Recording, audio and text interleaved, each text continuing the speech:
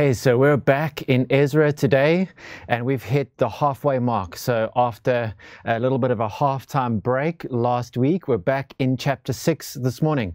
So, why don't you turn or tap in your Bibles, open up to Ezra chapter 6. And while you're turning there, let me just give you a quick recap of where we are in the story. So, God's people had been in exile uh, in Babylon for about 70 years, and God sovereignly makes a way for them to return, go back home.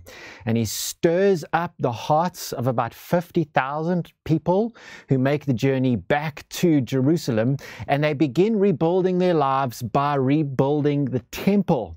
And just as they get started rebuilding the temple, opposition comes. And the opposition comes in the form of their old enemy, the remnant of the northern tribes of Israel, who've now been kind of integrated into the Assyrians, oppose them, threatening them, physically, all sorts of manipulation and, political uh, interventions, and their opposition works the work on the temple comes to a grinding halt and nothing happens for 15 years. And after 15 years, God sends two prophets to go and kickstart them back into action. That's where we left off last time, where the prophets Haggai and Zechariah uh, speak. And, and we looked at Haggai, who speaks rather bluntly, saying to the exiles, Hey, for the last 15 years, You've become focused on your own lives and have neglected the work that God has called you to in the temple. And the people hear this, you know, pretty tough message, but they respond with repentance and they reaffirm their, their commitment and our work starts on the temple again. It's kind of like at that moment of repentance, God, that when He had stirred up their hearts before, He's now reigniting that flame. And we see them continue to rebuild the temple with renewed courage and energy. And at that moment, remember, there's that one phrase, the eye of the Lord was upon them. And so Darius, who's king of Persia at the time, offers to protect them and even funds the rebuilding of the temple. And eventually, after four years of now reworking on the temple, the temple is finally finished. And so, if you're tracking with the timeline here, that's 21 years after returning back to Jerusalem. Finally, the temple is finished. So, what do you do when you finally finished a project that should have taken you a couple years but has taken 21 years to complete, what do you do? Well, you have a massive party. you celebrate. And that's exactly where we find ourselves in the story today. It's a great story. I think we'll need of a good story this morning. So let's read Ezra chapter 6 from verse 13 right through to verse 22. Then, according to the word sent by Darius the king, Tattenai, the governor of the province beyond the river, Shethar Bozenai, and the associates did with all diligence what Darius the king had ordered. And the elders of the Jews built and prospered through the prophesying of Haggai the prophet and Zechariah the son of Iddo. They finished their building by decree of the God of Israel and by decree of Cyrus and Darius and Artaxerxes, king of Persia. And the house was finished on the third day of the month of Adar in the sixth year of the reign of Darius the king. And the people of Israel, the priests and the Levites, and the rest of the returned exiles celebrated the dedication of this house of God with joy. They offered at the dedication of this house of God a hundred bulls, 200 rams, 400 lambs, and as a sin offering for all Israel, 12 male goats, according to the number of the tribes of Israel. And they set the priests in their divisions and the Levites in their divisions for the service of God at Jerusalem, as it is written in the book of Moses. On the 14th day of the first month, the returned exiles kept the Passover. For the priests and the Levites had purified themselves together, all of them were clean. So they slaughtered the Passover lamb for all the returned exiles, for their fellow priests, and for themselves. It was eaten by the people of Israel who had returned from exile, and also by everyone who had joined them and separated himself from the uncleanness of the peoples of the land to worship the Lord, the God of Israel.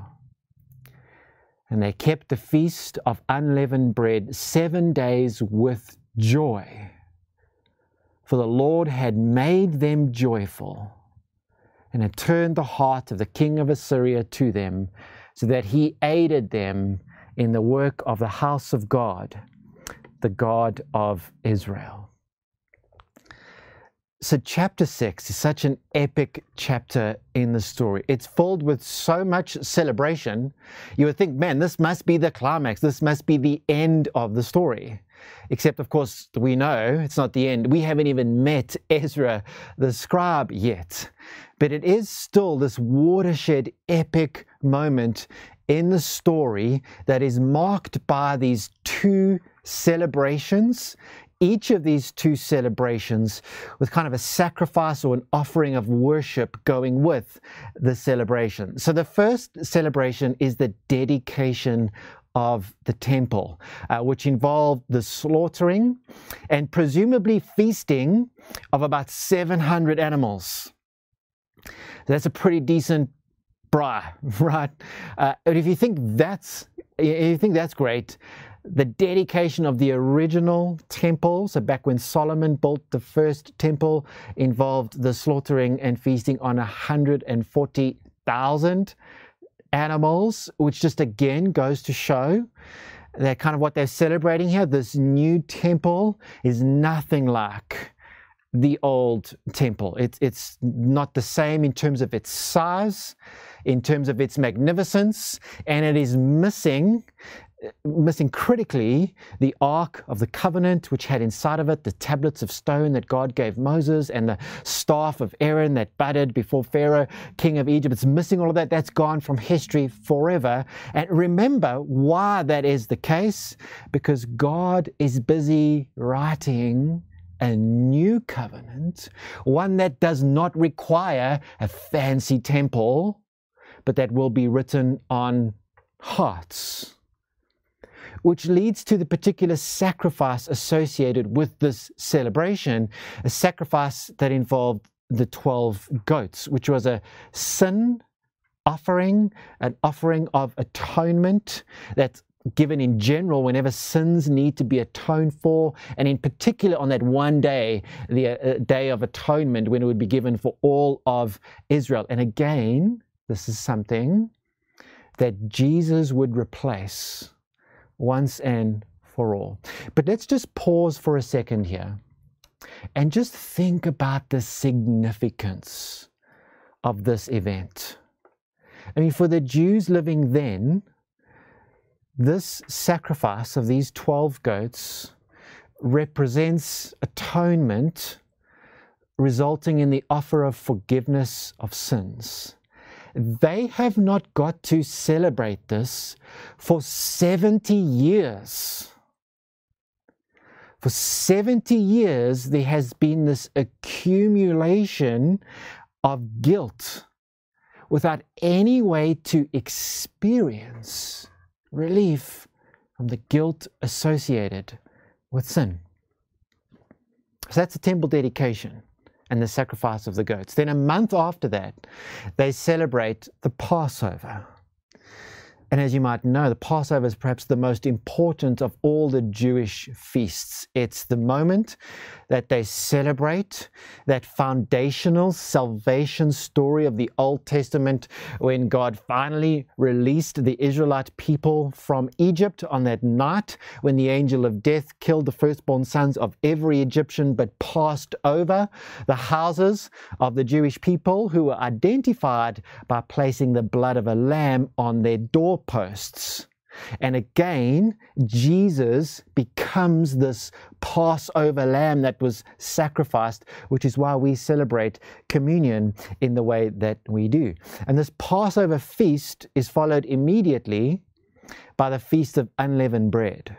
And you might remember back to that same story that when they left Egypt, they left in such a hurry, they didn't have time for the bread to rise. And so, this festival that they're celebrating now, one month after dedicating the temple, is again critical for them because it commemorates God's act of salvation, which was their identity as a people of God. And again, just think about the significance of this celebration over 70 years, they have not had the opportunity to commemorate their identity as the people of God who saved them and brought them to this place in the first place. So, all of that to say, it's no wonder when you consider the significance of these events, it's no wonder that a word that comes up repeatedly in this part of the story of Ezra is the word joy. Did you pick that up?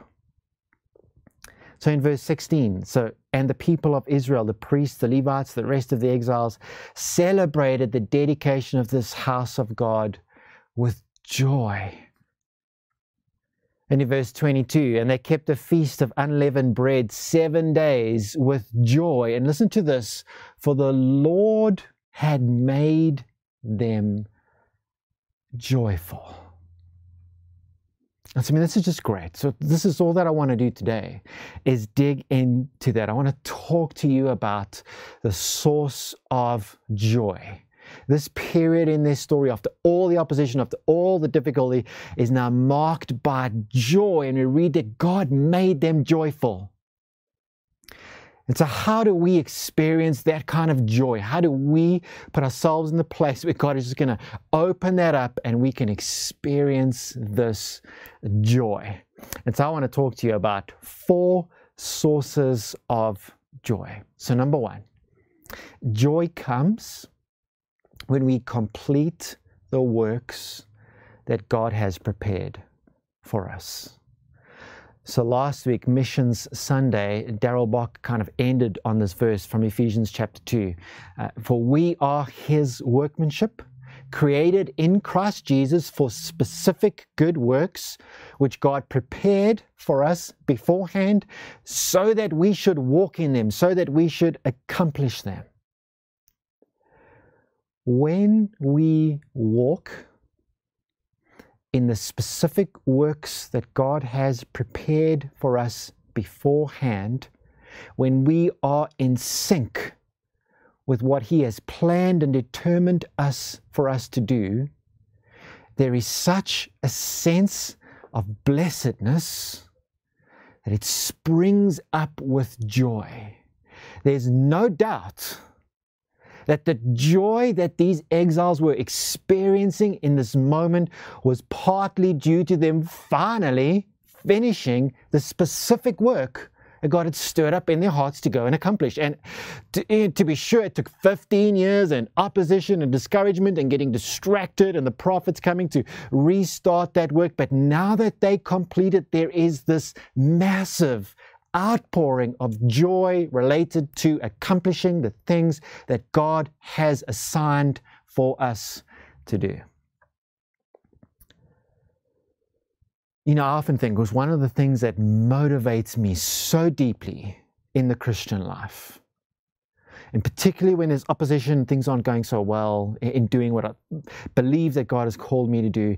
One of the strongest motivations is just believing that one day stand before Jesus and hear those words Well done, good and faithful servant.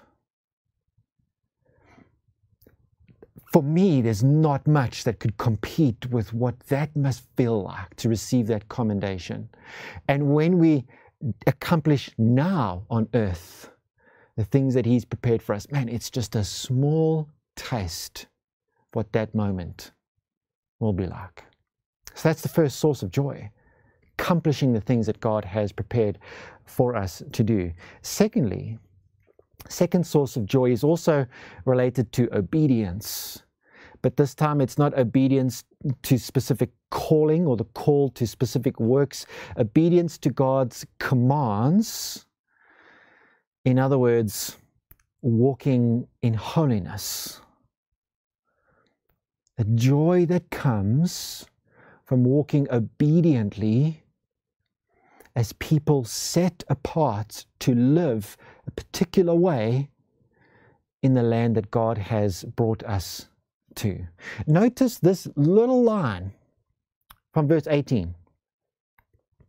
You know, as they're celebrating this dedication of the temple, it says, And they set the priests in their divisions, the Levites in their divisions, for the service of God at Jerusalem, as it is written in the book of Moses. There's all of a sudden this renewed desire to do as it is written. See, this wasn't just some big celebration. What was happening here is this renewal of their identity as the saved people of God, worshippers of God, set apart to live an apart life in the place that he has called them to do. That's part of what's going on here. You can see that in, in some other verses. Verse 20, a read of how the priests purified themselves. Verse 21, where there's this emphasis on the exiles celebrated the Passover, but so did other people celebrate the Passover with them, so long as it was clear that they had separated themselves from the uncleanness of the peoples of the land. See, there's this just renewed sense, this commitment to doing as it is written. And no doubt, part of the joy that they were experiencing at this unique time in their story was related to this renewed sense of living in the way that God had commanded them to live. Jesus will reiterate this very clearly for all his followers later John 15, John 16, John 17. For example, John 15, verse 10 to 11. This is not complicated. Jesus says, If you keep my commandments, you will abide in my love, just as I have kept my Father's commandments and abide in his love. These things I have spoken to you, so that my joy may be in you and your joy may be full there is a sense of blessedness that springs up with joy, not just when we obey the specific call of God on our lives, but obey His commands. Which leads to the third source of joy. Because what happens, what happens when we don't live in this way? And so the third source of joy is the assurance of sins forgiven. Surely, an immense source of their joy at this time was that sense of finally, after 70 years, seeing the sin offering again and knowing the accumulation of the guilt associated with sin, that 70 years of accumulated guilt, that finally they can experience forgiveness from that. And listen, this is massive. Don't underestimate the effects on our complete well being of living with the guilt associated with sin. I'm not just talking spiritual, emotional, physical as well. So Psalm 32 describes the physical effects of living with the accumulation of guilt attached to sin. So, verse 3 to 4, it says, For when I kept silent about my sin, my bones wasted away through my groaning all day long. We just think about that as a description of, of anguish, my bones wasted away because of my groaning all day long. For day and night, your hand was heavy upon me. My strength was dried up as by the heat of summer. That's an intense description of mental, emotional, spiritual, physical anguish that is associated with guilt attached to sin. But there is a release from that. It says it in verse 1, actually, of, verse, of Psalm 32. Blessed is the one whose transgression is forgiven, whose sin is covered. By the way, the word covered is atoned for, whose sin has been atoned for. Blessed is the man against whom the Lord counts no iniquity, and in, who, in whose spirit there is no deceit. Blessed. Do you know the word blessed here and most often in the Bible means happy? Happy is the one whose transgression has been forgiven. So, in other words, the psalmist is saying, When I kept silent about my sin, so when this guilt was upon me, I wasted away. But then I confessed it. Verse 5 I acknowledged my sin to you. I didn't cover up my iniquity anymore. I said, I will confess my transgressions to the Lord, and you forgave the iniquity of my sin. Here's the point for us today you do not have to wait for a specific ceremony involving a particular sacrifice. They needed to wait. There was no way they could experience this apart from the sin offering. But Jesus became that sin offering. You don't have to wait. You do not have to live with this weight, guilt attached to sin. You can acknowledge, confess, like the psalmist writes, right now. And guys, let me tell you, if you've been ever experienced, like I have, living under this cloud, this weight of guilt attached to sin, there's not many forms of joy greater than the moment when that is released. And that's available because of the atoning sacrifice of Jesus for all who believe and who confess their sins to Him. I'm sure that's part of the source of joy here that assurance that it's gone. Lastly, number four,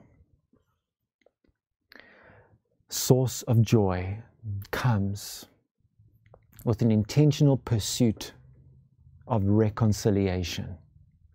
So, again, going back to Daryl Bock's sermon last week as he spoke about those works God prepared for us, he mentioned how right away Ephesians goes into a discussion on reconciliation. Reconciliation is another source of joy, different to the other sources or forms of joy, but equally intense. Have you ever experienced that? I know you have, hopefully, where maybe there's been this break in relationship with somebody that has maybe been like it's been an intense breakdown in a relationship that has lasted for some time and you know how that weighs upon you and then comes that moment when finally you reconcile with them and you walk away. Isn't it the most intense, that lightness, that joy you experience? I mean, maybe sometimes, I don't know about you, but I have it in my mind where there's this conflict situation. I mean, there is this conflict, but then you have these kind of, these anger fantasies, and you imagine, like, I'm going to talk to this guy, we're going to sort it out, and it just blows up in your mind. Then you have this conversation and everything's resolved, and you walk away and you're so pumped, you're so happy. There's an intense joy associated with reconciliation. And I'm convinced that part of the joy they were experiencing in this moment was attached to reconciliation. And you see it in a very interesting way in our passage for today. So, verse 17. So they offered at the dedication of the house of God all these animals 100 bulls, 200 rams, 400 lambs, and as a sin offering, the 12 male goats. So, what is, what's strange? There's something strange about that. What is strange here? Right, it's not the number of animals, you know, being you know sacrificed. What's strange is the the number of goats sacrificed for the sin offering, 12 of them.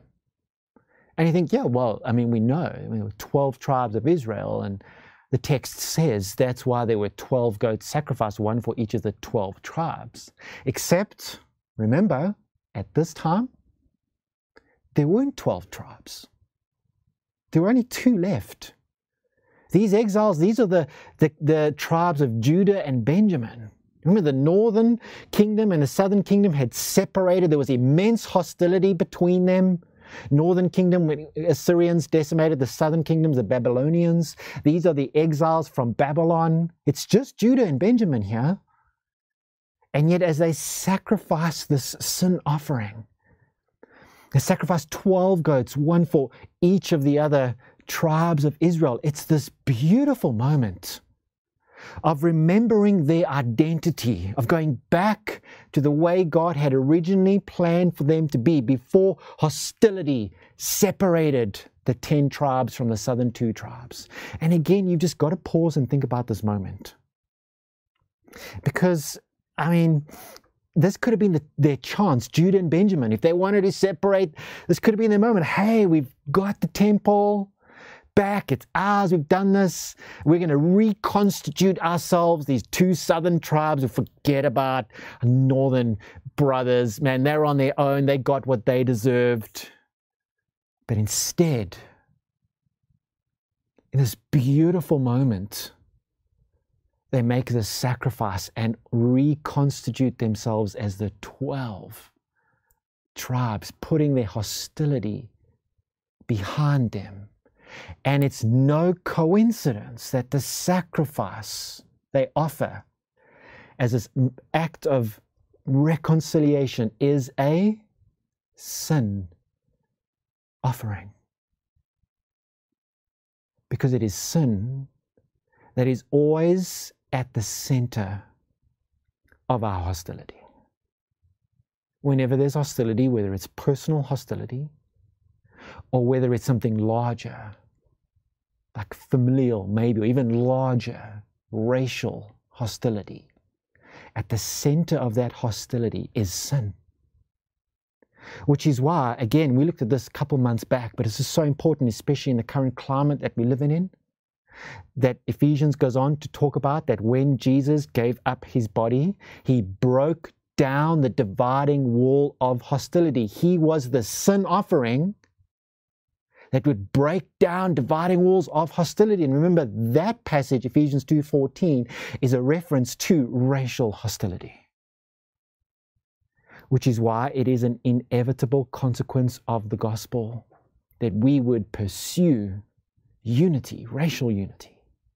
And when we do, when we stand, like those two southern tribes did in a moment of sacrificing, atoning for their sin that they acknowledged was part of the separation and repented of that. And as they sacrificed these 12 goats, there was an immense release of joy when we pursue unity in diversity, when we pursue reconciliation going down in churches, in families, and in individuals. Man, when that happens, there is a remarkable release of joy because we are experiencing the death of Jesus and what he died for. We're experiencing consequence of that in our everyday lived reality, which is what we want, isn't it? So these are just four sources of joy. And listen, sources of joy that God gives us. Remember, the Lord made them joyful. And that's what we've been looking at today. Not natural sources of joy. You know, these natural sources that God did give us for as a as a general act of grace, common grace that we could enjoy, like playing with your kids, riding bikes. And this is these are not these natural sources of joy. These are these God-given supernatural sources of incredible joy that only come as interventions and only come when we are living in these ways. And so I think as Dave sort of started our service, we can celebrate. We can acknowledge we have so much to be thankful for, and we can even experience joy in these difficult times when we live in these ways. These four sources of joy obedience to the call of God for specific works, obedience to the commands of God, living in the daily assurance of sins forgiven, and intentionally pursuing reconciliation. May God shower us with His joy as we do these things. Let's pray. God, as we gather before you this morning in prayer once again, just I, I can acknowledge, we all acknowledge, gathered in hundreds of homes across this city, so many um, different, difficult circumstances, but with this common acknowledgement of the weight of difficulty that is upon us and even upon the world at this time. And God, we pray that as you use this time to shape and transform us, God, would you create within us this posture of living that opens up these supernatural springs of joy, even now, that we take that with us so we come back stronger. And so, God, would you stir up our hearts, perhaps once again, as we go back to a couple of weeks ago, that message for you stirring up hearts, stir up our hearts, that we would see the specific works you've called us to, give us the courage to do those. And perhaps if we've been on a break from pursuing that, once again, we pray, Lord, you would stir it up, fan into flame the gifts that you've given us, especially in this time. And God, Holy Spirit, we pray that you convict us of where we're not walking in obedience to your specific commands. And perhaps that's a reason for some of the heaviness upon us. And may we as a church and as individuals renew our commitment to live in the ways that you've commanded us. And God, I pray for the sense of assurance, for relief from the guilt associated with sin that only comes through you, Jesus Christ. And we cry out to you, confessing our sins, our brokenness. And I pray now, God, for all those listening who feel the same as the psalmist, like your hand is heavy upon them. Would they know the eternal atoning sacrifice that you have committed for all of us, Lord Jesus. And bring assurance. And God, would you help us today to pursue reconciliation with individuals, perhaps in our very families, our social circles, our work situation, in our church family. And as we pursue reconciliation across difficult lines, of race and culture and even age and gender. God, help us as a church to thoroughly pursue unity in these areas. Trusting in your sacrifice, Jesus, that has broken down dividing walls of hostility. Unite us, we pray. In Jesus' name, amen.